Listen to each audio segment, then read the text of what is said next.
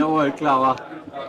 Moin Leute, heute fühle ich mich, ach hier kann ich ja reinsprechen, da brauche ich ja gar nicht so schreien. Heute fühle ich mich wie ein richtiger Influencer, aber nicht vergessen, ich bin die Krypto-Influencer. Ich bin hier auf der Conference in Dortmund, einer wahrscheinlich eher unbedeutenden Krypto-Konfi. Darüber wird Roman aber selber berichten. Und vor ungefähr neun Monaten, als ich äh, an Bord von der Bliadversity gegangen bin, da gab es einen Private Video Call von Roman, da war ich völlig geflasht. Der Bart spricht zu mir. Aber ich war total unvorbereitet und wusste nicht mehr, was ich fragen sollte. Das war mir sowas von peinlich. Ein geführtes Gespräch ist übrigens viel schwieriger und deshalb gibt es heute ein Interview mit vorbereiteten Fragen. Wir sind gespannt, aber vorher muss man erstmal den Bären besänftigen und deshalb habe ich natürlich Gastgeschenke dabei. Fangen wir mal an. Ich weiß, der Mann ist ein Comic-Fan. Und das hier ist ja meine Hood, ne? Seht ihr hier, die Watchmen. Und wenn du das selber gelesen hast und nicht mehr sammelst, dann kannst du das in der UCC verschenken. So, das mal die Nummer eins. Und die Nummer zwei, das ist natürlich mein persönliches Werk, das muss schon sein, mein kleines Büchlein über das Leben in den Hamburger Gängevierteln, ein zeitgenössischer Bericht aus dem Ende des 19. Jahrhunderts. So, das war jetzt mal der offizielle Teil. Das sind ja die, die samt alle Ausgaben, gell? Das ist ein Alles, Werk, das, ist genau alles Geschichte, in das einem. ist ein, weiß, ja, das, ist das ein geschlossen. Werk. Das sind nicht die einzelnen, sondern Das alles ist in alles einem. drin, ja. Und es ist auch echt anstrengend, weil es sind viele Seiten und viele Bilder. So, Ich habe es nie gelesen. Auf Deutsch. Sehr gut. ich habe mir ja, ja, auf Englisch ist eine Qual. Also, ich habe mir ja extra den super Merchandise-Artikel gemacht hier. Guck mal hier. Ich Ja? lese es durch und dann verschenke ich es. Ja, genau, so machen wir es. Ja. Okay, so. Dann müssen wir das beide auch signieren. Wir beide auch noch. Das machen Zeug. wir. Das machen wir. Das ist Ja, quasi das machen von wir. uns beiden später in die Community Ja. reingeht. So. Also, jetzt kommen meine Fragen. Ah ja, bitte. Ähm, Roman, wenn man dir folgt, dann kennt man hier nur so deinen Social Media Charakter, so ein bisschen ordinär, laut, launisch, sarkastisch. Für viele bist du hier sogar der Boss und der Meister. Wie erlebst du diesen Personenkult um dich und was sollen wir alle tun, wenn du mal keinen Bock mehr hast? Oder wenn was Tragisches dazwischen kommt, shit happens. Ich habe jetzt schon keinen Bock, muss ich sagen. Als ich angefangen habe, hatte ich schon keinen Bock gehabt. Äh, man schleppt sich so mit und schlussendlich mache ich das, was ich mache, größtenteils nur für mich. Es hilft do mir, I. ja, es, es hilft mir, Sachen zu überdenken. Es hilft mir aber auch, Gefühle loszuwerden. Ja. Darum geht es. Es geht Ja. genau darum, es ist für mich, Social Media ist für mich eine Sprachtherapie mit sich selbst. Also Okay. Es geht einfach darum, Sachen bei Namen zu nennen, sich darüber aufzuregen, es zu sagen, es zu tun und es loszulassen und dann in, in die Resonanz mit, äh, mit, mit, mit, mit da draußen zu kommen, mit der Ja. Community, mit den Ja. Leuten. So. Aber wenn was Tragisches dazwischen kommt, mein Gott, dann, dann ist es halt so. Die Leute kommen. Aber du hast gehen. jetzt nicht extra deine Nachfolge geregelt oder so. Also das ist jetzt nicht ein Projekt. Da, aber warte mal, warte mal. Wir Du meinst jetzt in Bezug auf muss, CryptoSpace muss, muss Fleet? jetzt erstmal die zweite Frage kommen. Genau. Wer war zuerst da? Die Space Fleet oder die UCC? Ist das alles ein großer Plan? Also mit der UCC eine Fanbase gründen, dich als Guru und ein paar Space Fleet Members als Influencer, um deine kommerziellen Projekte zu platzieren? Oder bist du doch, wie ich immer noch inbrünstig hoffe, so der Robin Hood, der Anarchist der Kryptoszene? Alles. Also wir tragen alles in, in, in, in uns inne. Ähm, UCC war vor der Crypto Space Fleet. UCC haben wir damals mit einigen Influencern gegründet. Da war zum Beispiel Crypto 1 und 1 mit dabei, AK Astro, äh, Cryptonaut, der musste sich dann aber auch umbenennen. Crypto Knowledge ist immer noch dabei, der ist auch Eigentümer der UCC. Ähm, wir hatten Xani gehabt, ähm, der macht jetzt weniger Content. Mittlerweile sind da auch aber andere Leute dazu gekommen, wie der, äh, wie der Lito aus TikTok bekannt. Der gut hat, übrigens, er hat eine eigene sehr, sehr gute Trading-Gruppe. Jeder, der mit Trading anfangen möchte, solle sich bitte bei Lito melden. Er hat Top-Content. Ich glaube, du bist Ja. auch bei dem in der Gruppe. Ich bin da gelistet Er Ist, der macht echt gutes Zeug, Ja. genauso wie Crypto Germany. Also UCC, und der Schlachti, muss ich mal sagen. Ne? Jürgen Schlachtner mit der Acht im Namen, Der hat eine geile Hilfegruppe. Das, das kenne ich Ah, wiederum. den kennst du gar nicht? Die, die, das kenne ich wiederum nicht. Okay. Äh, ich bin da auch wiederum auch das, zu sehr in meiner Bubble drin, in meinem Ja. Keller, in meinem geistigen Ja. Keller, um da beim Plato zu bleiben. Ich bin in meiner Höhle mit meinem Schattenspiel. Ich Ja. bin glücklich und zufrieden damit. Verstehe. So, und die UCC hatte nie den Anspruch gehabt, meine Gruppe zu sein. Ich wollte auch nie eigene Kryptogruppe haben. Ich supporte die UCC, ich lade immer wieder gerne andere Influencer dazu ein. Wir haben bei UCC einen Bereich Influencer Support. Da kann jeder Influencer seinen Content reinhauen, solange das kein Betrug ist. Bitteschön, ist jeder willkommen. Ja. So, ähm, Crypto Space Fleet ist aus der Idee entstanden. Das ist ja die geschlossene Gruppe. Das ist der erste deutschsprachige dezentrale NFT-basierende Investment Club und eine Agentur ist entstanden mit der Idee, Gelder einzusammeln und mit diesen Geldern in Launchpads zu investieren, um in die Coins vor dem Börsengang, vor dem Listing reinzukommen. Ja. Ist durch den Bärenmarkt schlechter gelaufen, alles gedacht. Dafür läuft es aber dann mit dem Agenturenbusiness, wo wir Menschen, wo wir Firmen helfen, Reichweite auf den sozialen Medien zu erhalten und alles Gegenzug gibt es dann eher Drops an die Cryptospace. Klar. Die, jetzt kommen wir mal zu Sindbad. Die Sindbad KI ist ja ein kommerzielles Produkt. Ja. Also, ob das wirklich eine KI ist, die selbstständig lernt, kann ich noch nicht beurteilen. Da kommen bei, so schätze ich im Moment, 500 zahlende Benutzern im Monat 10.000 Euro rein. Das ist jetzt nicht wirklich viel. Da kann man einen Entwickler und die Fixkosten vielleicht mit Ja. abdecken, so Ja, gerade mal eben. Ähm, die Abozahlen waren auch schon mal besser. Wie ist denn deine Einschätzung und dein Ausblick für Sindfahrt und warum veröffentlicht ihr nicht alle Hinweise und deren Ergebnisse vor allen Dingen auch als Tabelle, als XLS? Dann könnten wir alle einen viel besseren Überblick über das ganze Ding, also zumindest unterschieden nach Telegram, Twitter und YouTube bekommen. So muss ich jedes einzeln auf Deckscreener verfolgen, mir den Chart angucken, wie ist das gelaufen und meine eigenen Na, momentan Schlüsse besteht ja beim, also Simbad für diejenigen, die es nicht kennen, kurz mal rausgeholt, beobachtet hunderte von Telegram-Gruppen, hunderte von äh, Twitter-Accounts und hunderte von YouTube-Accounts. Und die Idee dahinter ist, Influencer sind bezahlte Uten, die von Projekten dazu motiviert werden, Sachen an den Mann zu bringen. Ja. Und je mehr Influencer hinter einem Projekt stecken, desto eher pumpt das Projekt. Also du brauchst Leute, die ein Projekt in die Außenwelt tragen. Ich habe zum Beispiel heute mit jemandem gesprochen, hat ein sehr interessantes Projekt. Keiner redet über das Projekt, keiner kennt das Projekt, das Projekt ist scheißegal schlussendlich. Erst wenn die Leute anfangen darüber zu reden, wird es interessant, bekommt es die Aufmerksamkeit und bekommt auch den Cash-Zufluss. Weil Krypto funktioniert in der Summe, das gesamte Kryptosystem funktioniert nur so lange, bis morgen jemand aufsteht und bereit ist, dir den Scheiß, den du schon heute oder gestern gekauft hast, abzukaufen. Ja. Du brauchst immer frisches Geld, um die grünen Ja. Kerzen zu bringen. Diese grünen Kerzen werden von Influencern erzeugt. Viele Menschen sind in der Gefahr, von einem Influencer oder von ein, zwei, drei Influencern abhängig zu sein. Und Sinbad schafft ja einfach einen globalen Überblick über alles, was relevant ist. Ja, es gibt Projekte, die er nicht erfasst, aber es geht statistisch darum, welche Influencer, welche Gruppen haben die besten Projekte bis jetzt statistisch rausgefunden. Zu gucken, zu beobachten, da kommt die künstliche Intelligenz ins Spiel. Die künstliche Intelligenz analysiert und schätzt die Inhalte ein und gibt sie einem raus. In Kurzform sagt, okay, das und das Projekt wird auf Telegram da und da besprochen. Bei Twitter werden mehrere Twitter-Tweets durchgelesen, mitsamt Kommentaren zusammengefasst. Also, sage ich mal, aus 20, 30 Nachrichten wird eine gemacht. Aber das müssen 20, 30 relevante Nachrichten sein.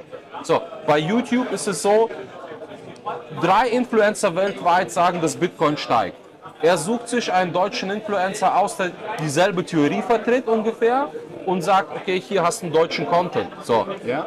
Ähm, und dann musst du das Video dir nicht angucken, sondern das wird immer kurz zusammengefasst. Also die KI ist nicht eine in der Form, dass wir mit ihr irgendwie reden können. Dafür hast du ChatGPT-Bullshit. Die KI ist dafür gedacht, diese Masse an Informationen zu verarbeiten und möglichst interessante Trends zu erkennen. Ich verstehe das, ich verstehe das. Das Ja. ist ja auch schon ganz oft genug in allen Gruppen, überall, wo sind bald erklärt worden, gesagt worden. Aber meine Frage ist wirklich, kann ich die Daten nicht als XLR haben oder zumindest die ganzen Resultate, denn ihr Muss, veröffentlicht? muss ich mit dem Dev reden, weil momentan ist seine ganze Pipeline auf Telegram.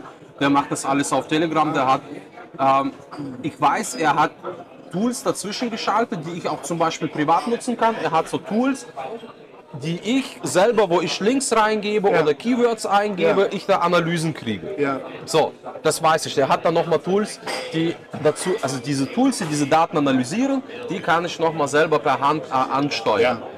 Aber auf die Ergebnisse, die der da rausgibt in Telegram, da habe ich keinen Zugriff drauf. Das bedeutet, er könne eigentlich das irgendwie nochmal neu verarbeiten, nochmal neu zusammenfassen, da Das irgendwelche würde noch Datenbanken. viel mehr Möglichkeiten eröffnen, wenn ich zum Beispiel feststelle, und am Anfang habt ihr Ja. das bei den Sindbad-Zusammenfassungen mal so eine Zahl genannt von 72% Trefferquote. Ja, ja. Dann könnte ich wie im Casino siebenmal auf, zehnmal auf Rot setzen, dreimal verliere ich, siebenmal gewinne ich, Ja. habe ich 40% Gewinn gemacht. Ja. Das schaffe ich aber nicht, wenn ich jeden Einzelnen selber nochmal recherchieren muss. Da sitze ich ja heute, haben wir am Tag 100 solcher Empfehlungen über alle drei Kanäle. Ja.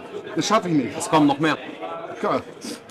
Es kommt noch mehr. Äh, Ich habe äh, jetzt mit dem Entwickler stehen wir äh, wiederum im Gespräch, eine neue Funktionalität rauszubringen. Das kann ich schon mal vorab ankündigen. Ihr kennt das.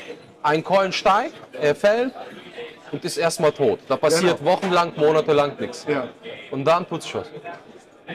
Der erste Herzschlag. So viel Zeit habe ich meistens nicht. Und vor allen Dingen keine Warte, Liquidität mehr. Genau, ne? ja, aber dann, meistens ist es ein Influencer, meistens ist es irgendjemand, der den Coin pushen will. Und da geht es recht schnell. Ja. Zack, zack, zack, geht es wieder hoch, dann wieder runter. Und genau diese Erkennung möchte er auch reinbauen. Er tut sich, ich sag mal so, der Mann tut sich schwer, er gibt sich sein Bestes, aber mit den Umsätzen, die wir da fahren, ganz ehrlich, also es ist, es ist, es ist kein, Ja. es ist kein äh, Chat, es ist kein Open AI-Unternehmen mit 300 Mitarbeitern oder 1000 Ja, ist Mitarbeitern mir völlig klar. finanziert. Äh, Ist mir völlig klar. wir nutzen auch OpenAI, muss ich auch ehrlich sagen. Wir nutzen OpenAI, weil OpenAI auch da die Textanalyse hat. Ja, weil Ja. Äh, da kommt halt auch OpenAI, viele, viele Leute haben auch geschrieben, ja, das ist einfach nur irgendwie ein Bot, der Scheiße zusammenfasst. Auf den ersten Blick, ja.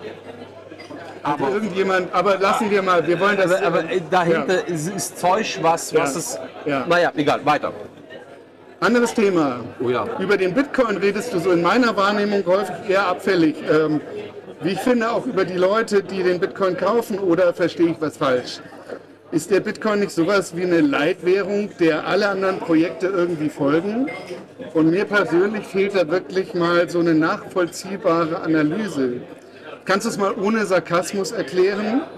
Und muss sich ein Bitcoin-ETF-Anleger, wie es ja viele Leute, junge Menschen sind, die langfristige Anlage suchen, fürchten von zum Beispiel BlackRock wirklich abgezockt zu werden, wenn sie in so einen Bitcoin-ETF reingehen?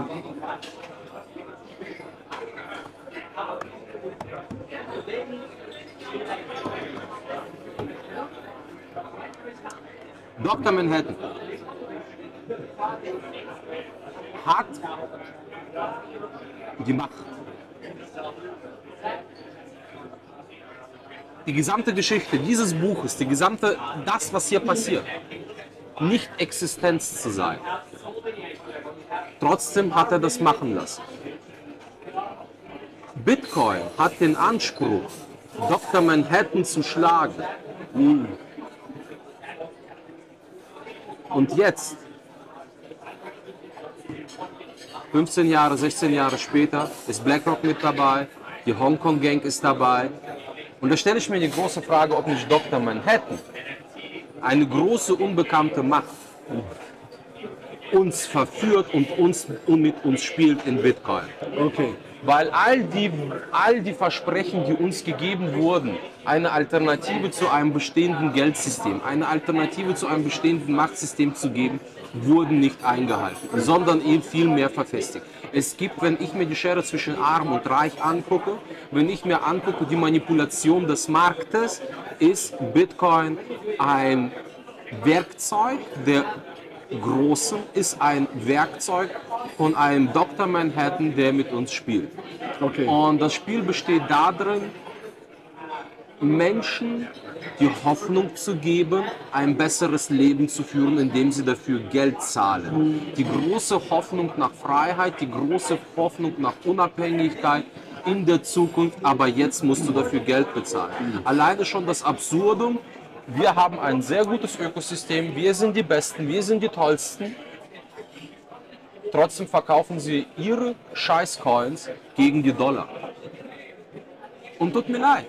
Ich glaube mehr an den Dollar, ich glaube mehr an die amerikanische Regierung, weil wenn jemand die amerikanische Regierung anpisst, ist spätestens zwei Wochen nicht mehr an der Macht und Ja. wird mit einem und wird mit einem äh, Tramper durch die Straßen geschleift.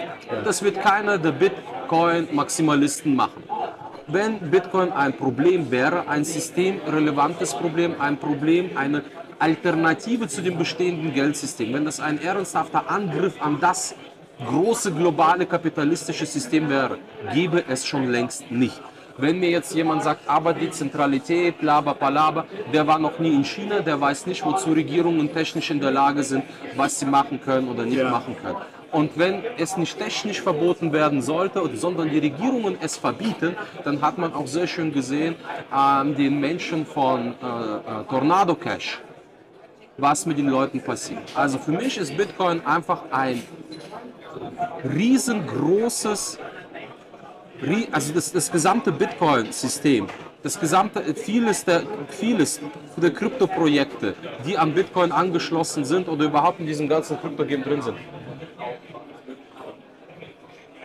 ein riesengroßes Enteignungsmechanismus. Und es wird der Tag kommen, wo die große Enteignung stattfindet, wo das große wo die großen liquiden Mittel, über die wir alle lachen und sagen, oh, die Regierungen brennen so viel nach. Aber noch nicht an Weihnachten dieses Jahr. Nee, nee, ich, ich, Okay. ich, ich, halte mich an der, ich, ich halte mich an der Aussage von Martin Armstrong, Ende dieses Jahrzehnts, 28, 29 wird es Okay.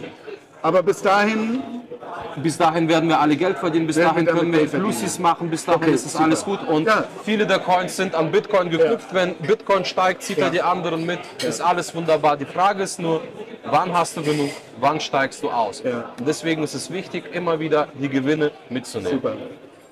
So, jetzt in einem deiner letzten Shorts auf Insta hast du jemand, der gefragt hat, ich habe 10.000 Euro und will die anlegen, gesagt, kauf mal 20 Coins mit einer Market Cap von zwischen 10 und 100 Millionen. Ja.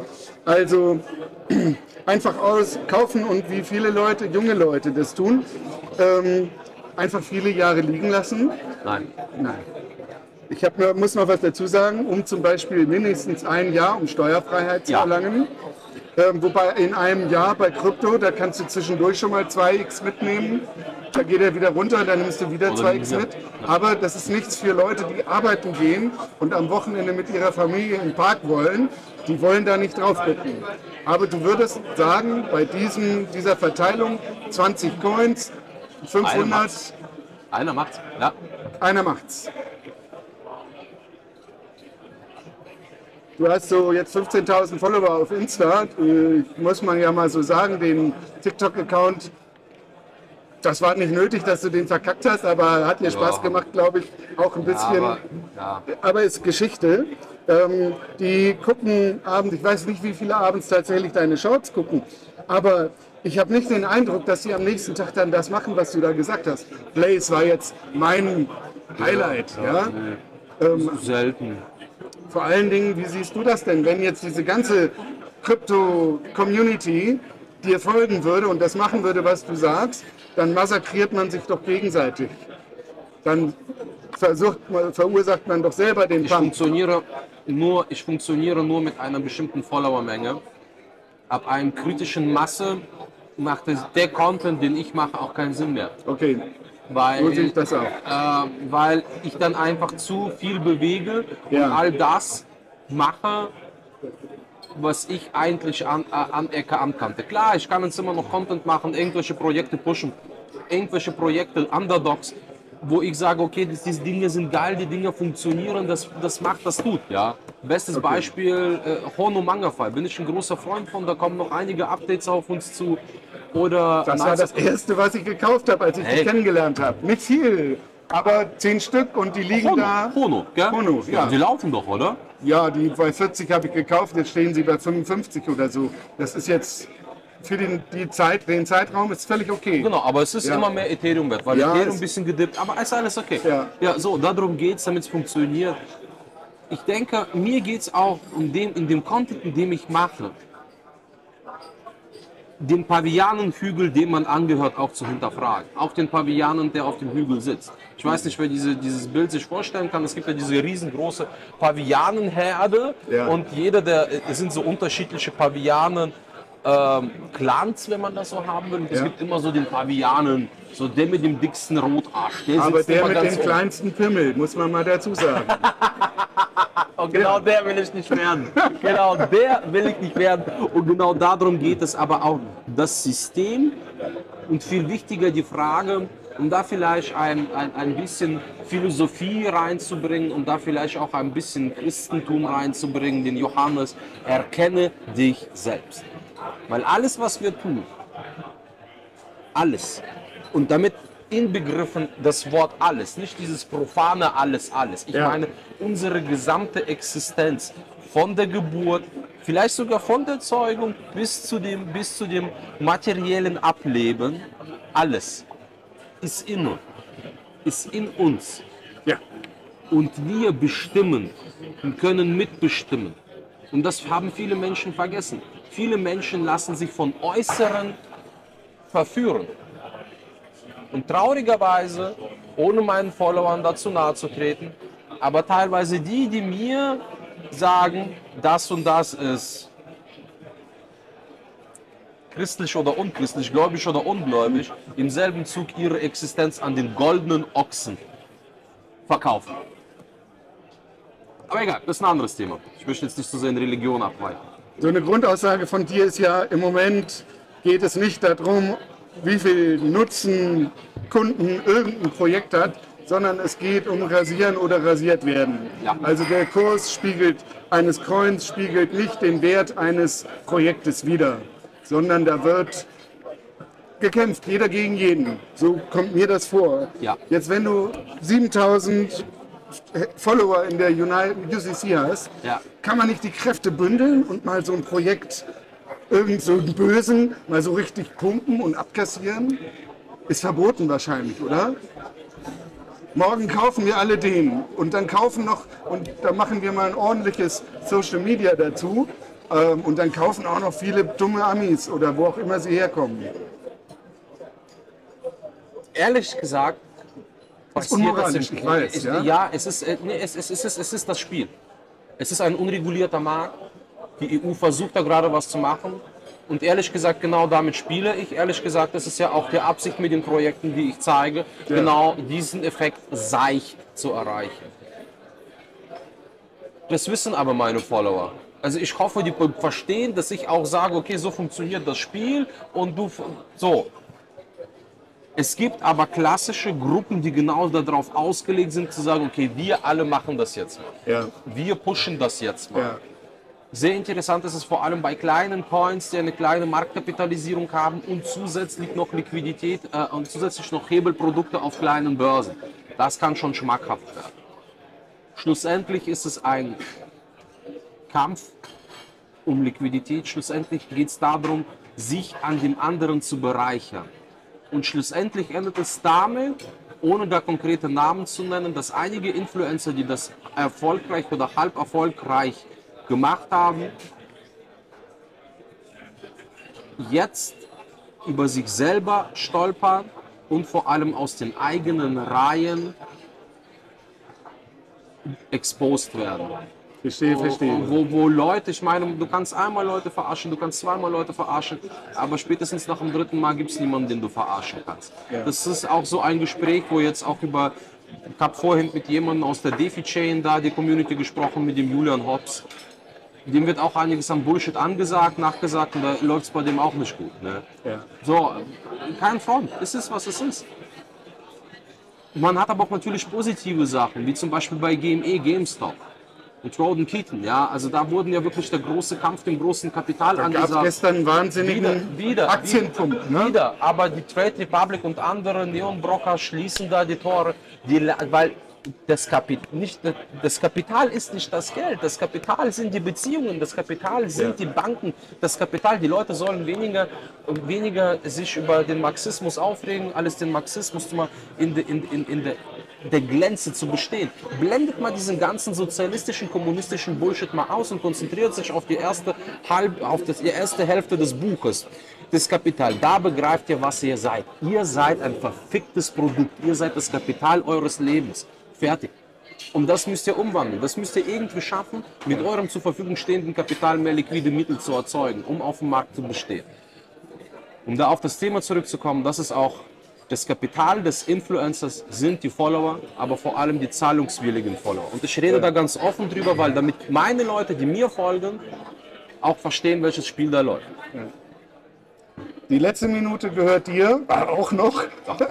ähm, nee, gib uns einen Ausblick. Was kommt dieses Jahr noch? Hast du Wie einen, war's? Wetter? also, Ja, ist, nee, ähm, Also doch, ich habe was gelesen. Da hattet ihr, da, das hattet ihr ein Meeting, ein Videocall oder ein Online-Meeting in der CSF. Und da ging es um die Gründung einer Vermögensverwaltung nach deutschem Recht mit jemand, aber es war ein offizieller Task in dem Protokoll von diesem Meeting. darüber rede ich nicht. Das kommt noch alles. Okay, das, okay, das kommt okay. noch alles, das, das wird noch alles Ja. gedroppt, da wird noch mal alles aufgebaut. Ähm, schlussendlich kann ich nicht sagen, was das Wichtigste oder wichtig sein wird in, in der Zukunft. Das Wichtigste ist, heute und morgen ist einfach anhand der Fehler, die man tätigt, daraus zu lernen und beim nächsten Mal vermeiden, sie zu tun. Und Ja. das ist immer. Schaut in euch. Erkenne dich selber. Das ist die Botschaft. Immer und immer wieder, egal was passiert. Dann kannst du ja noch Küsschen, Küsschen geben. Ja.